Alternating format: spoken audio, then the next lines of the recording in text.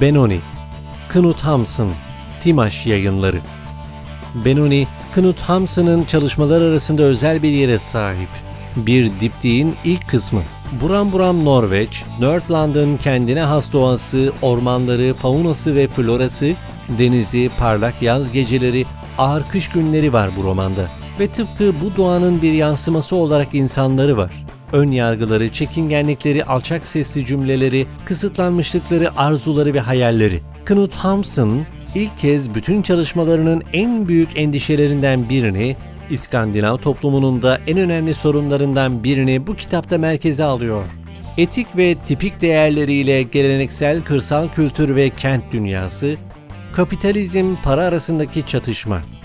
İkinci sırada melankolik bir aşk hikayesi var. Behçet Necatigil'in şiirli çevirisiyle taşlanan bir hikaye. Hamsun, bu büyük romancı 1859'da Norveç'te doğdu. Gezdi, yaşadı, sevdi, yazdı.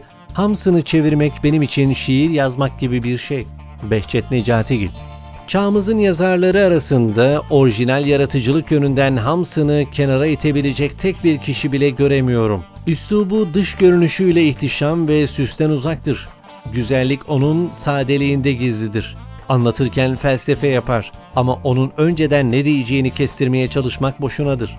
Ahlaki bir dogma, sosyal bir hipotez ortaya atmaz. Onun düşünceleri bir ideal kadar hürdür. Maxim Gorki O ansızın bir uçuruma yuvarlanabilir. Bir kavgada ölebilir yahut insanlardan uzak, tenha bir fiyortta boğulabilir veya bir çilingir sofrasında yığılıp kalabilir.